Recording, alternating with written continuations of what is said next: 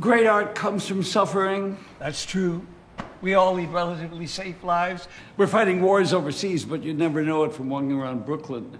I've got an old friend at Bank of America. He said he'd take a look at your art for a new building they're opening up. They don't want my paintings.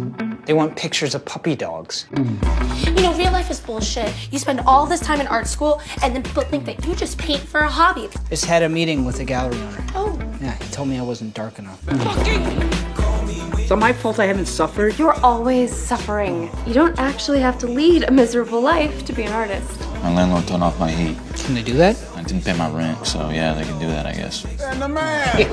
Thanks for inviting me. You're my blood. I need to hang out with you more so I can stay grounded. Douchebag. Is that David Craze? Sit down. He's a homeless person. He's a famous painter. Ew. Unchain yourself from everything society tells you. What artists do is as important as anything else. Mom, you know how you always say that you want to support me as an artist? How can I help? I need someone to take some pictures. Who's a model? It's my mother. So you're saying I should blackmail him? It's your foot in the door. You'll see anything goes in this business. You're really beautiful. Stop.